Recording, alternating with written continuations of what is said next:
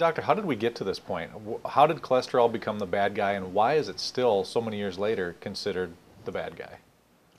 Um, that's a long story filled with political intrigue. I'd be happy to answer it. We, we spend about a chapter of it in, in the book tracing the origins of this. Um, you guys, the interviewers, are not old enough to remember this probably, but in the, some time ago, when we first had home taping, there were two competing technologies. There was VHS and Betamax. Maybe some people do remember this. I'm dating myself. I do. okay, good. so we had VHS and we had Betamax. Yep.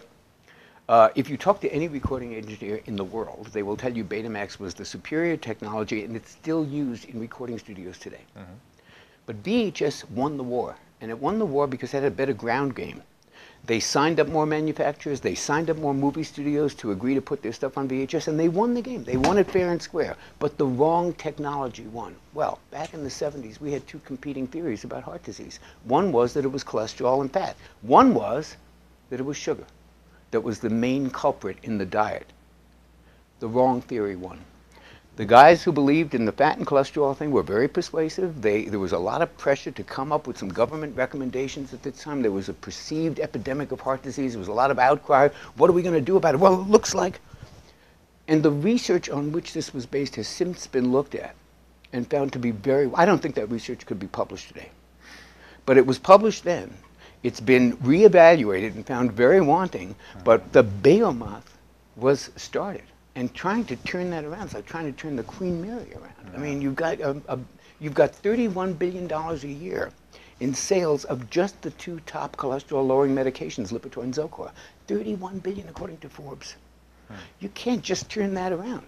You got a cultural mem. You talk to anybody at any cocktail party in America and say, "How's your heart doing?" They're going to tell you what their cholesterol is because it has become synonymous with heart disease. Hmm. There is a cholesterol story involved in heart disease. But most of us don't know it.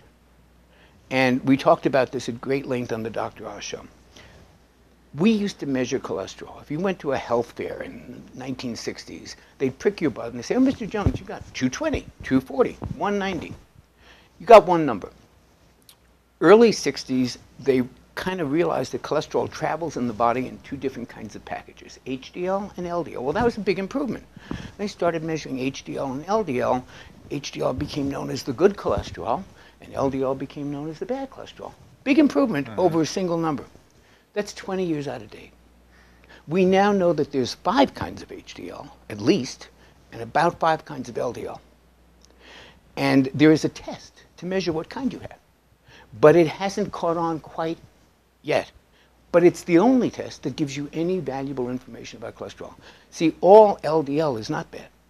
Some of it is fairly benign. If you look under a microscope, you'll see two major types, LDL-A and LDL-B, we'll call them. LDL-A looks like a big, fluffy cotton ball. It doesn't even stick to anything. It's fairly innocuous. LDL-B is a bad player. That's a little nasty BB gun pellet-like inflamed little nasty bugger that does get caught in pockets of inflammation. Okay. If you don't know whether you have LDL-A or pattern A, which is mostly the big fluffy balls, or mostly pattern B, mostly the nasty little ones, uh-huh. you're treating a number, not a patient. You're throwing a dart at a dartboard with a blindfold on. LDL total means nothing. You need to know the number of particles and the size of the particles. That's done by a particle test. Many companies make particle tests. You can Google particle tests for LDL. A million things will come up. It's the only test that matters. So not only are we treating an innocuous molecule, we don't even know what we're treating. Knowing your LDLB is very helpful to know.